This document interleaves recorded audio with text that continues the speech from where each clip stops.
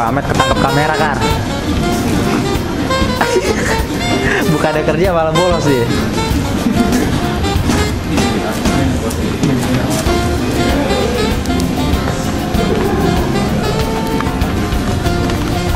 ya gerombolan-gerombolan orang yang sedang malas bekerja ini sedang membolos kerja. empat lagi membolos bekerja. Gigi sepatu. Eh, datang, datang.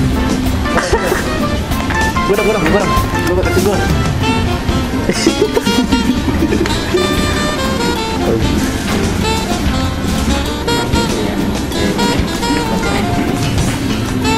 seperti anak kecil di toko permen